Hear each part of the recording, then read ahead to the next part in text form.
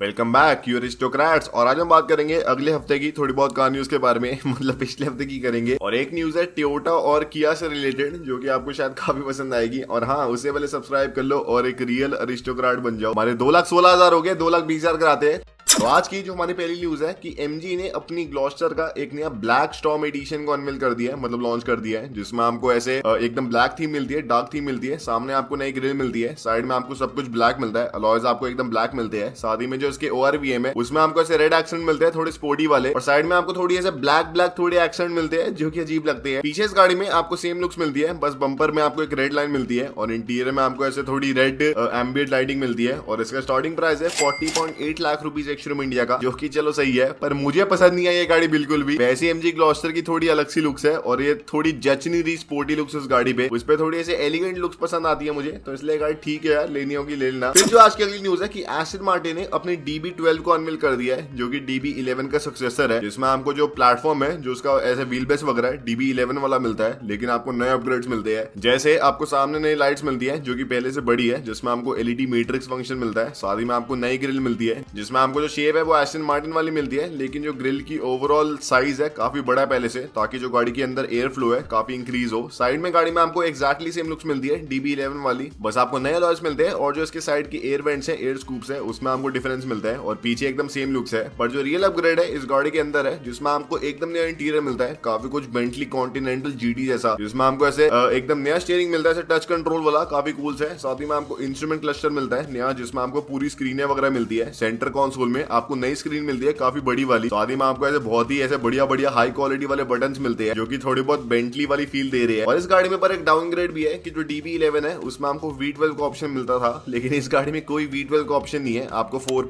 Litre का Mercedes source V मिलता है, जिसमें पावर तो काफ़ी अच्छी है अराउंड छह सौ अस्सी हॉर्स पावर है, पर एक वी इंजन है और एस्टन मार्टिन बनी ही अपनी वी के लिए है। तो ये थोड़ा डाउनग्रेड है, पर क्या करे एमिशन नॉर्म से कंपाइल करने के लिए ब्रांड्स को करना पड़ता है और बाकी इसका इंडिया में लॉन्च हो गया four eight crore rupees action media के प्राइस में। आप थोड़े बहुत ऑप्शन वगैरह लोगे तो इसका प्राइस ऑन रोड अराउंड छह करोड़ का पड़ने वाला है। जो कि महँगा है ऑब्वियसली पर क्या करे, हर चीज़ महँगी हो गई है। फिर जो आज की अगली न्यूज़ है, और थोड़ी खराब न्यूज़ है Thar four by two owners के लिए, जिसमें आपको पता होगा कि अभी ब्रांड ने Thar four by two launch करी थी, और उसमें कोई भी साइड में बैजिंग नहीं थी फोर बाय फोर की। तो इसलिए उसमें डिस्टिंक्शन करना काफ़ी डिफ़िकल्ट था कि कौन सी गाड़ी फोर बाय फोर है, कौन सी गाड़ी फोर बाय टू है। क्योंकि आसानी से जो फोर बाय टू ओनर्स है, वो अपनी गाड़ी पे फोर बाय फोर का दो सौ रुपए का बैज लगवा सकते हैं, और बढ़िया फिर वही वाली फील ले सकते हैं। तो इसलिए ब्रांड ने क्या करा है कि अब से जो भी Mahindra Thar four by two dispatch होगी, उसमें साइड में एक आर डब्ल्यू डी या फिर रेयर व्हील ड्राइव का बैच आने वाला है, ताकि जो Thar four by two owners है, जो की बन रहे हैं, कि भाई हमारे पास तो अल्टीमेट ऑफ़ रोडिंग मशीन है, हमारे पास तो अठारह लाख वाली थार है, उनके बारे में लोगों को पहले ही पता चल जाए कि ये रेयर व्हील ड्राइव ओनर है, जो की बारह तेरह लाख रुपए वाली थार चला रही है, और ये मेरे ख्याल से ज़रूरी भी था, क्योंकि इससे जो फोर बाय फोर ओनर्स है, उन्हें थोड़ी राहत मिलेगी, क्योंकि उनकी गाड़ी भाई कोई डिफ्रेंशिएटिंग कर ही नहीं पा रही थी अपने आप को, और सेकंड चीज़ ये पर, ये जो बैच है, आसानी से कोई भी हटा सकता है और फोर बाय फोर का बैच लगा सकता है। तो ऐसा नहीं है कि ये परमानेंट चीज़ है, पर एटलीस्ट ब्रांड ने दिया। और अगर कोई छपरी सा होगा, वो हटा लेगा और फोर बाय फोर का बैच लगा लेगा। फिर जो आज के अगली न्यूज़ है कि महिंद्रा है, उनकी जो वेटिंग बैकलॉग है, कुछ ज़्यादा बड़ा चल रहा है, जिसमें इस ब्रांड के पास सेवेंटी एट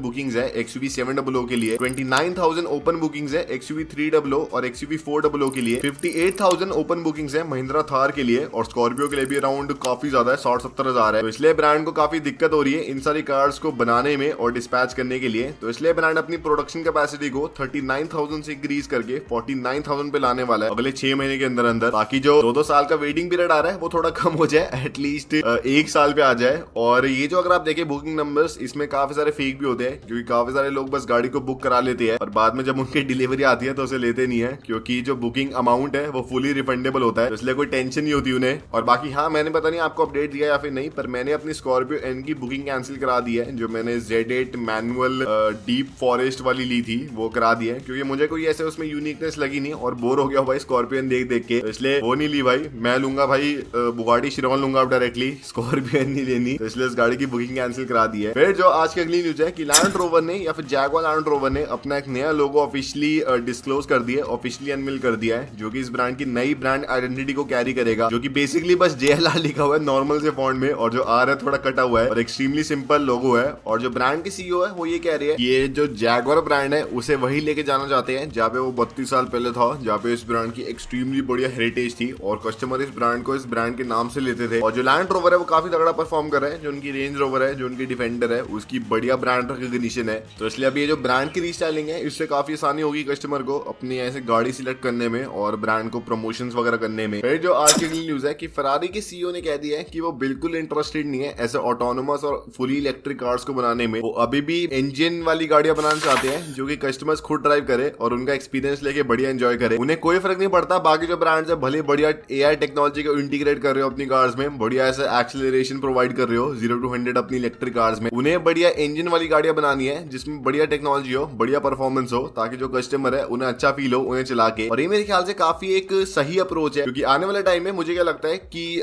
जो इंजन वाली गाड़ी है, ऐसे स्पोर्ट्स कार वगैरह है, जिसमें इंजन वगैरह आते हैं, वो वैसे ही बनने वाली है और वैसे ही बिकने वाली है, जैसे आजकल लग्जरी वॉचेस बिकती है। क्योंकि वॉचेस अगर आप देखें, उनका कुछ काम नहीं होता। ऐसे बढ़िया स्मार्ट वॉच वगैरह आ गई है, जिनमें आपको ज़्यादा बढ़िया ऐसे केपेबिलिटीज वगैरह मिलती है। पर जो एक लग्जरी वॉच को ओन करने का ऐसे मज़ा आता है, जिसमें बढ़िया ऐसे पुरानी 200 साल पुरानी टेक्नोलॉजी है, उसमें अलग ही मज़ा है। और ऐसे ही स्पोर्ट्स कार्स वगैरह के साथ होने वाला है, जिनकी ऐसा नहीं है कि कुछ होने वाला है सेल्स वगैरह कम होने वाली है सेल्स बढ़िया होगी। और अगर कोई भी कहता है कि सिर्फ़ इलेक्ट्रिक कार्स बिकने वाली है, आने वाले टाइम में ऐसा बिल्कुल नहीं होने वाला। और फिर जो आज की न्यूज़ है कि जो किया है और जो ट्योटा है, उनके बीच में ऐसे काफ़ी एक तगड़ा कॉम्पिटिशन सा था और उसमें ट्योटा जीत गए पिछले महीने में जिसमें पिछले महीने ट्योटा ने 19,379 कार्स को बेचा है जो कि ऑलमोस्ट 600 यूनिट ज़्यादा है एज कंपेयर टू किया की 18,766 और ये काफ़ी सालों बाद हुआ है मतलब किया अभी तक लीड में थी पर ट्योटा दोबारा लीड में आ गई है और इसलिए क्योंकि ट्योटा ने अपनी थर्ड प्रोडक्शन लाइन को ऐड कर लिया है जिससे उनकी प्रोडक्शन काफ़ी बढ़ गई है और साथ ही में उनकी जो हाई क्रॉस वगैरह और जो हाई राइडर है उसके लिए काफ़ी बढ़िया डिमांड आ रही है तो इसलिए ब्रांड बढ़िया एंजॉय कर रहा है और जो किया की लाइनअप है काफ़ी पुरानी हो गई है जो उनकी सेल्टॉस है। ऑलमोस्ट चार साल, पाँच साल पुरानी हो गई है। कोई भी फेसलिफ्ट आया नहीं है। तो इसलिए अभी ब्रांड थोड़ा पुराना हो गया। अभी ब्रांड नई कार्स को लॉन्च करेगा ताकि थोड़ा लीड में दोबारा आए। और फिर जो आज की अगली न्यूज़ है कि टाटा मोटर्स ने अपनी एल्ट्रॉस की तेरह नए वेरिएंट्स को अनमिल कर दिया है मतलब लॉन्च कर दिया है। और साथ ही में अब इस गाड़ी में सनरूफ भी इंट्रोड्यूस कर दिया है, जिससे गाड़ी इंडिया की सबसे अफोर्डेबल गाड़ी बनती है, जिसमें आपको सनरूफ मिलती है, जिसमें आप सिर्फ़ 7.9 लाख रुपीस के प्राइस में एक सनरूफ वाली एल्ट्रॉस ले सकते हैं। जो कि काफ़ी बढ़िया है, काफ़ी अफोर्डेबल है। और बाकी जैसे आईसीएनजी वगैरह भी लॉन्च कर दिया है ब्रांड ने। इसलिए अगर आपको इसमें ऐसे सनरूफ चाहिए, साथ ही में सीएनजी चाहिए, वो भी आप ले सकते हैं और बढ़िया कॉम्बो बना सकते हैं। और फिर जो आज की लास्ट न्यूज़ है कि महिंद्रा की जो फाइव डोर थार है, उसको स्पॉट करा गया है, जिसमें कंफर्म होता है कि इस गाड़ी में आपको सनरूफ मिलने वाली है as compare to normal Thar, जिसमें आपको सनरूफ वगैरह कुछ नहीं मिलती। और एक जो इस गाड़ी में और चेंज होने वाला है कि जो नॉर्मल थ्री डोर थार है, उसमें आपको सॉफ्ट टॉप रूफ का फॉर्मेट मिलता है। मतलब आपको डिटैचेबल रूफ मिलती है। रूफ एक अलग यूनिट है और जो गाड़ी की बॉडी है, एक अलग यूनिट है। लेकिन जो ये फाइव डोर थार होने वाली है, ये प्रॉपर गाड़ी होने वाली है, इसमें जो इस गाड़ी की रूफ है और जो इस गाड़ी की बॉडी है, एक सिंगल यूनिट होने वाली है, जैसे एक नॉर्मल गाड़ी में होता है, ताकि जो इसकी स्ट्रक्चरल इंटेग्रिटी है, थोड़ी बढ़े और थोड़ा बढ़िया गाड़ी सेफ्टी में परफॉर्म करे। और एक और जो कंफर्मेशन आती है, महिंद्रा की तरफ़ से जो फाइव डोर थार है, उसका लॉन्च 2024 में होने वाला है। अब बीस साल के लिए इस ब्रांड के पास कोई गाड़ी नहीं है, जो की ब्रांड लॉन्च करने वाला है, क्योंकि जो ऑलरेडी इस ब्रांड के पास सारी कार्स है, उनमें भर भर के वेटिंग पीरियड आ रहा है और ये ब्रांड बना नहीं पा रहा। तो फ़ायदा नहीं है ऐसे एक और गाड़ी को लॉन्च करके, उस पर भी दो साल की वेटिंग पीरियड रखने का, जबकि इस ब्रांड के पास प्रोडक्शन कैपेसिटी है ही नहीं। तो अगले साल लॉन्च होने वाली है फाइव डोर थार देखते कैसी होती है। और यही था आज की वीडियो में। अगर आपको पसंद आए तो लाइक शेयर सब्सक्राइब कर देना।